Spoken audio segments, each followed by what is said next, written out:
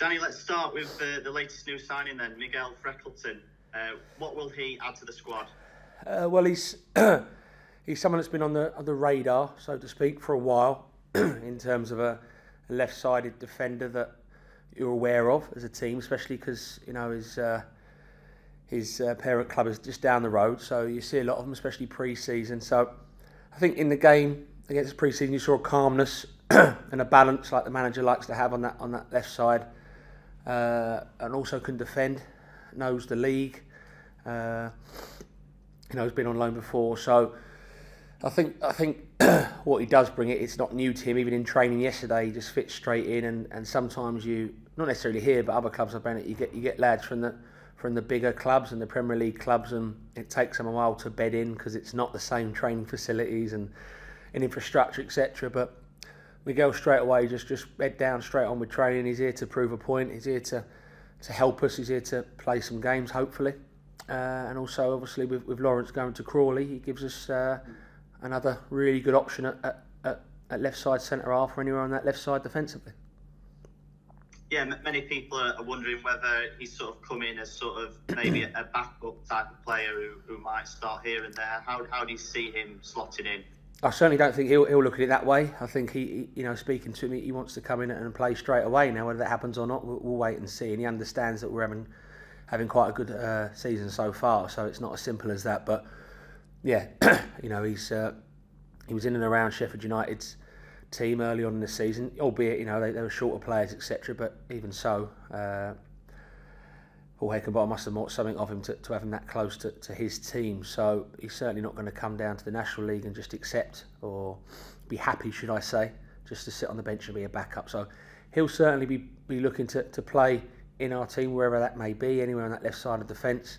Uh, but like also say, you know, are we're winning, the manager doesn't like to change his, his team. Uh, whether we, we do change for certain reasons tomorrow, we'll wait and see. But no, Miguel, what I've what I've seen of him so far and spoke to him, he's a very focused lad uh, who's had his loans and, and, and had a little dipped his toe in it really, and now he wants to really make a name for himself. Is he a little bit versatile then? Do you think he might be able to uh, play left back if needed? Yeah, I think you could, I th- and I think that uh, a lot of players, you know, should should and can be able to do that. You know, I think Tyrone did it for us, uh, albeit briefly, second half the other week against, against Oldham and, uh, and, and held his own quite comfortably. So I'm sure his, his, his preferred position is the left side centre half. I suppose him coming in, not that the manager and us we, we often do it, but you can go to a three at the back if need be if you're trying to see games out. So it just gives you another player in the building that's very very good uh, balance with his left foot, uh, young, hungry, uh, and, and, hopefully he's uh, he's going to help us get in that get in that sort of position where uh, where we want to be, which is top of the league sooner than later. And he's the second player that you've got on a season-long loan from a Premier League club, along with uh, Harry Tyrer. What do you think that says about you know, the style of play maybe and the club itself that you're able to attract and, and that Premier League clubs are, are trusting you with their young stars.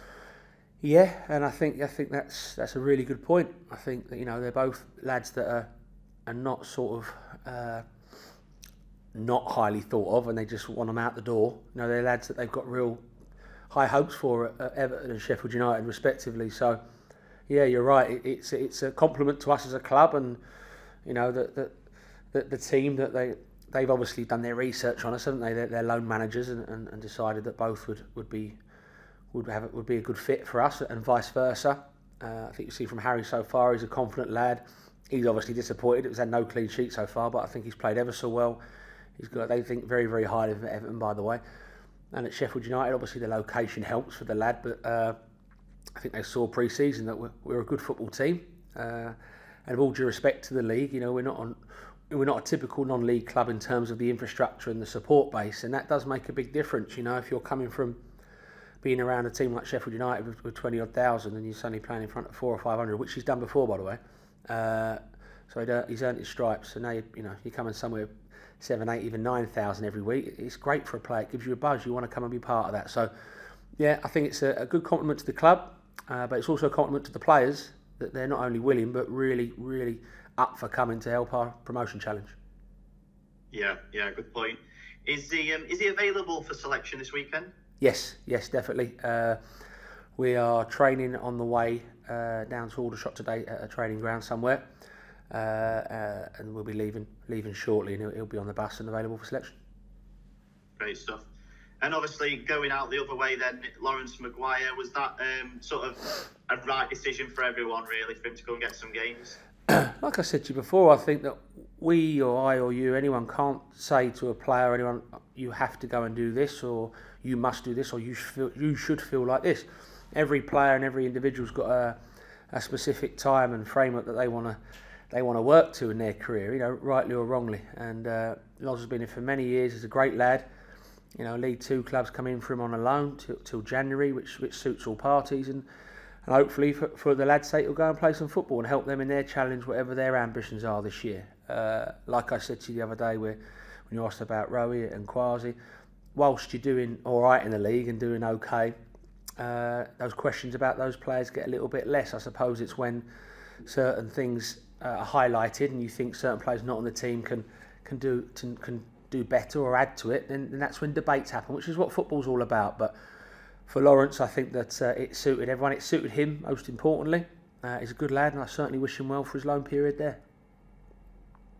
Will you sort of assess the situation again then at, at the end of, of, January, whether to decide whether he, he, could maybe come back into the group or whether he needs to, to stay out on loan? Yeah, I think that, that that's the whole point of it, isn't it? I suppose when, when you say a, a loan a loan is to whatever date, and obviously within that there's certain there's certain small print in that, but ultimately it, it, it's January, whatever, and uh, then it is up to all parties to see how, how you've got on. You know, we haven't got a crystal ball and say what's going to happen, or how he's going to perform, how we're going to perform.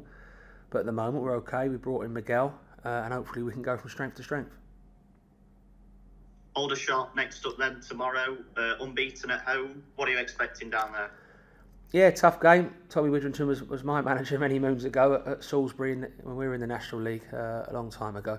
Uh, and he, he certainly knows the league. He knows the level. Did ever so well with Kings Lynn before going to Aldershot. Did well at Salisbury when I was there. No, we were a very small club. Nearly took us in the playoffs. So he knows he knows how to get the best out of uh, out of a bunch of players. Uh, I wouldn't say a smaller club because Aldershot aren't. They are a big historic football club, you know, for non-league level. So yeah, I don't mean that disrespectfully at all. But maybe one of the more unfancied teams to get promotion. He does well with them. Uh, but he's got some good players in there. Some good players. He's got good relationships with Brighton and Southampton, I think. So they get some good lads from them who've been released or loans. Uh, and like I say, you know, we'll turn up there and there'll be a big crowd, and their crowd always get behind them like ours do. Uh, and I'm sure that they'll be they'll be dressing themselves up as underdogs, which is fair enough because you know we're up near the top and their mid-table sort of area. So we have to be ready for that. Uh, but no, it'll be a very very tough game. I don't think I'll do any interviews with you this year that I'll go, you know, it's going to be a really easy game, or yeah, we should we should just go and win there isn't there isn't any poor teams in this league where five six years ago there was. You know, if we're honest, there was three or four teams that you just knew you were going to turn up and trounce. Not the case anymore. So we have to be on our game.